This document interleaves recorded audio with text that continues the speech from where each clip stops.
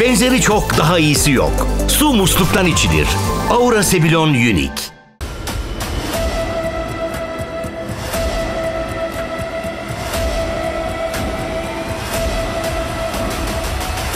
Kıbrıs Rum kesiminin boru hattından sonra elektrik projesi de destek bulamadı ve sona erdi. Now, one of the key components of Greece's plan to harness the East Mediterranean's hydrocarbon wealth is the East Med pipeline. Avrupa Yatırım Bankası elektrik hattına hayır dedi. Bankanın Yunanistan'dan başlayarak denizin altından Kıbrıs Rum yönetimi ve İsrail'e uzanacak elektrik hattı projesini finanse etmesi bekleniyordu. Banka bu projeler yerine güneş enerjisine odaklanalım tavsiyesini verdi.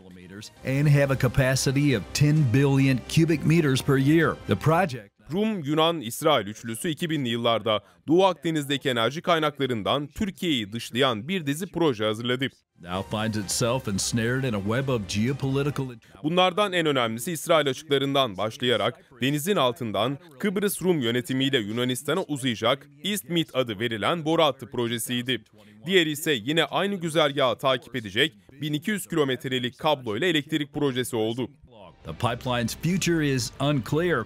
2016 yılında dönemin Rum lideri Nikos Anastasiadis, Yunanistan Başbakanı Alexis Tsipras ve İsrail Başbakanı Benjamin Netanyahu el ele tutuşarak projeyi başlatmıştı.